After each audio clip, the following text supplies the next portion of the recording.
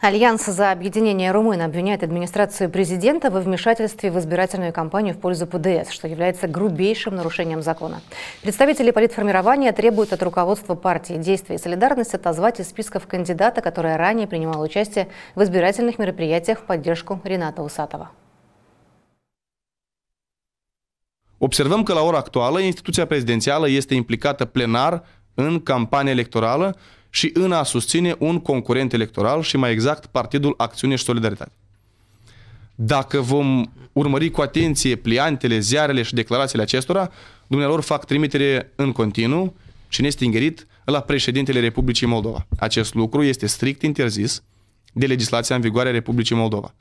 Instituția prezidențială trebuie să fie neutră, imparțială și neangrenată politic instituția prezidențială trebuie să joace rolul unui arbitru politic și să nu facă partizanat deschis direct sau indirect pentru vreo forță политика. В администрации главы государства не ответили на наш звонок, чтобы прокомментировать эти заявления. А в ПДС и не отрицают, что ведут кампанию рука об руку с президентом Майей Санду. Ați pomenit chiar și astăzi de mai multe ori echipa președintelui Maia Sandu, Maia Sandu, noi suntem echipa Maia Sandu nu credeți că asta înseamnă utilizarea resurselor administrative în campania electorală?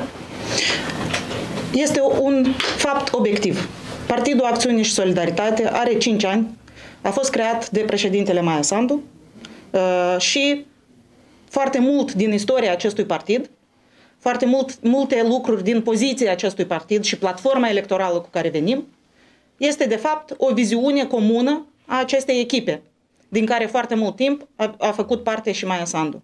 При этом Влад Белецкий напомнил, что кандидат на должность депутата по списку ПДС, а также советник президента Майи Санду в 2019-м отвечала за пропаганду в команде Рената Усатова. Cel mai grav lucru care se întâmplă la ora actuală este poziția 11 pe lista PAS, Natalia Davidovici, care a lucrat în campanie electorală pentru Usatăi și care a făcut declarații publice că România ar fi ocupat Republica Moldova. Reprezintă o sfidare la adresa electoratului pro-european și unionist și solicităm conducerii Partidului Acțiune și Solidaritate să se dezică public și să retragă această persoană de pe listele dumnealor. Altminteri vom considera că sunt de acord cu declarațiile făcute de Natalia Davidovici și anume că România a ocupat Republica Moldova și că este în regulă să avem pe locul 10, 11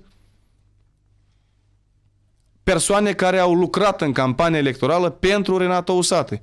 Также представители АУР отметили, что под номером 39 в списке ПДС расположился агент под прикрытием Изунген, который 7 апреля 2009 отвечал за задержание и пытки молодых людей. Пресс-секретарь ПДС Аурика Жардан заявила, что изучит заявление председателя АУР, чтобы прокомментировать ситуацию.